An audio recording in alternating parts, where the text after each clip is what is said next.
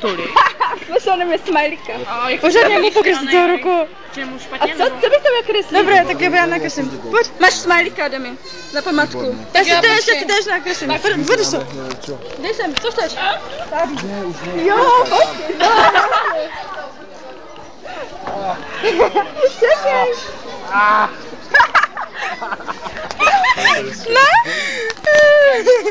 A to je Ma Ogni messo a battere gli occhi!